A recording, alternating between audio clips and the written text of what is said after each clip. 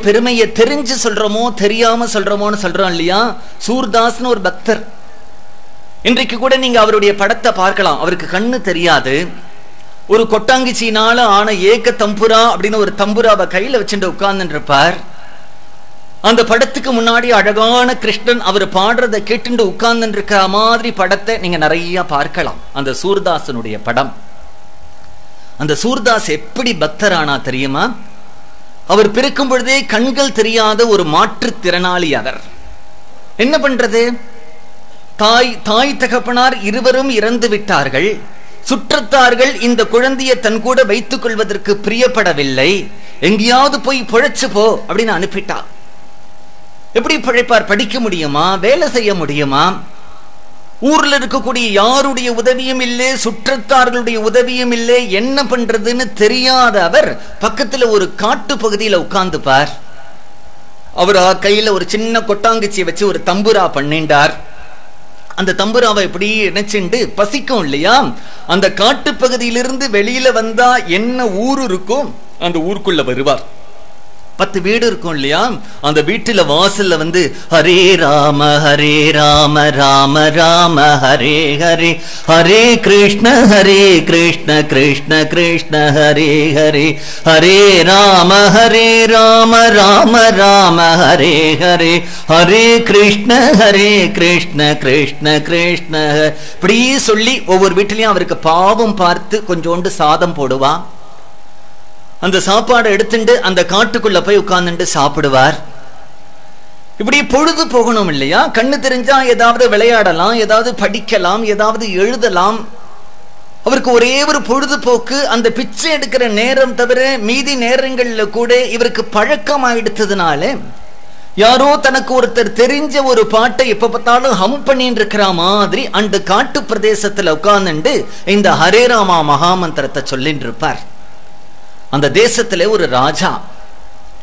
அவன் பாரசீக தேசத்திலிருந்து அருமையான இரண்டு குதிரைகளை வாங்கி வச்சிருந்தான். அந்த குதிரைகள் மேல அந்த ராஜாவுக்கு ரொம்ப பிரியம். அந்த குதிரைக்கு நல்ல தீனி போட்டு போஷாக்க அந்த குதிரைகளை வளர்த்து அந்த குதிரைகள் மீது சமாரி பண்றதையும் அந்த குதிரைகளை யுத்தத்துக்கு பயன்படுத்துறதுலையும் அந்த ராஜாவுக்கு ரொம்ப விருத்தம் அதற்கு விருப்பம் அதற்கு நல்ல காவலாளிகளை ஏற்பாடு பண்ணியிருக்கான். ஒரு நாள் என்ன ஆயிடுச்சுன்னா ராத்திரி இவர்கள் காவல் காட்கும் பொழுது அந்த காவலாளிகள் ஏமாந்திருக்கக்கூடிய நேரமா அந்த ரெண்டு குதிரைகளும் தப்பி கொண்டு போய்விட்டது. ராஜாவுக்கு எப்படி இருக்கும் கார்த்தால்? அந்த செய்தியை கொண்டு போய் ராஜா கிட்ட சொல்றதுக்கே இவர்களுக்கு பயம். எப்படியோ மெதுவா இவர் ராஜா கிட்ட போன சொன்ன உடனே ராஜாவுக்கு ரொம்ப கோபம் வந்தது.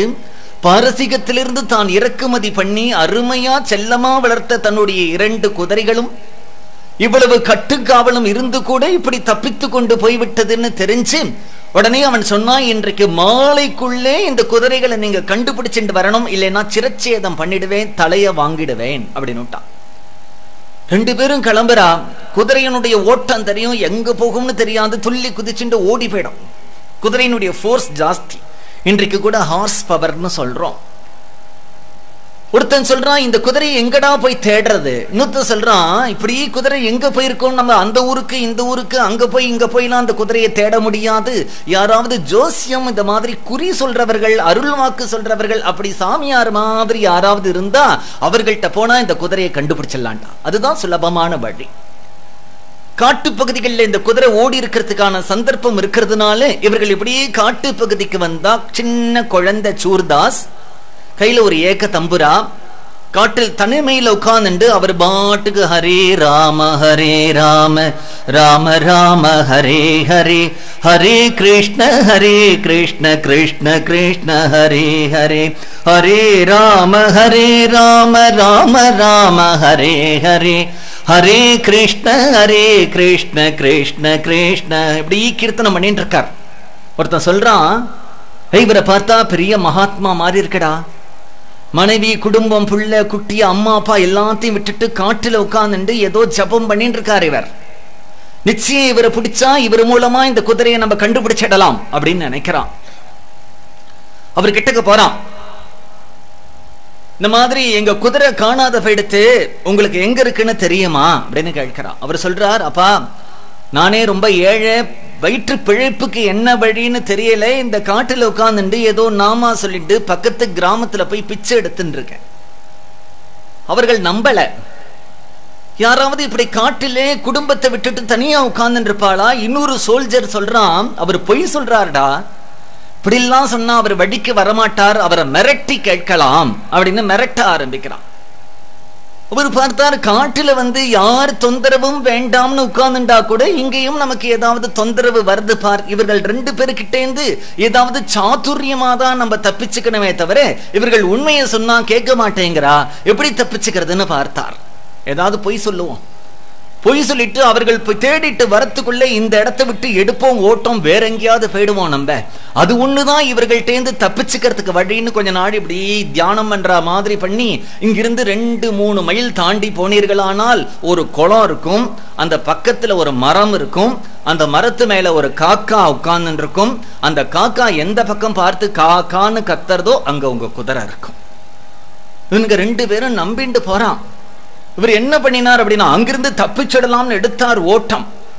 ஆனா என்ன ஆச்சுன்னா மறுநாள் அவன் தேடிண்டு வரான். தேடிண்டு வந்து சுவாமி அப்படின்னு மாலை போட்டு பழங்கள்லாம் கொடுத்து காலில் விடறான் என்னடா நீங்க சொன்ன மாதிரியே குளம் இருந்தது குளத்து பக்கத்துல மரம் இருந்தது மரத்து பக்கத்துல ஒரு காக்கா கத்தித்து அங்க போனா எங்க ரெண்டு குதிரையும் இருந்தது சுவாமி. அடுத்த நாள் இவன் ராஜா கிட்ட குதிரையை கொண்டு கொடுத்த உடனே ராஜா பார்த்தான் எப்படி இந்த குதிரையை உங்களால கண்டுபிடிக்க முடியாதுன்னு நினைச்சேன். எப்படி கண்டுபிடி? ஒரு மகாத்மாவுடைய அனுகிரகம். ராஜா பார்த்தான் யார் அவர்? காட்டில் இருக்கார். உடனே ராஜா அவரை தேடிண்டு வந்தான். சூர்தாஸ் கண்கள்லேருந்து ஜலம் வந்துடுத்து. அம்மா இல்லை அப்பா இல்லை. அடுத்த வேளை சோறுக்கு வழி இல்லை. பத்து ஊர்ல பிச்சை எடுத்து சாப்பிட்டா சும்மா போய் பிச்சை கேட்டா நன்னா இருக்காதுங்கிறதுக்காக நான் நாம கீர்த்தனம் பண்ண ஆரம்பிச்சேன். அந்த நாம கீர்த்தனம் இந்த தேசத்து ராஜாவை என் முன்னாடி கொண்டு வந்து நிறுத்திடுத்து அப்படின்னுட்டா அந்த நாமத்தினுடைய மகிமை தெரியாம சொன்னா கூட. என்ன அப்படின்னார்? இந்த நாமாவை நீங்க இந்த நாம அனுபவங்கள் ஒரு பத்து பேர் இருபது பேர் சொன்ன ஆயிரம் நாம அனுபவங்கள் சொல்ல சொல்லுவேன். ஆயிரம் நாம அனுபவங்கள் சொல்லும் பொழுது உங்களுக்கு கேட்கும் பொழுது அந்த நாம அனுபவங்கள்ல நம்பிக்கையே வராது. இப்படி கூட நடக்குமா அப்படின்னு தோணும். அப்படி கூட நம்பிக்கை வர நம்ப முடியாத விஷயத்தை கூட நம்பிக்கிற மாதிரி சாதித்து கொடுக்கறது தான் நாம சங்கீர்த்தனம். உங்களுக்கு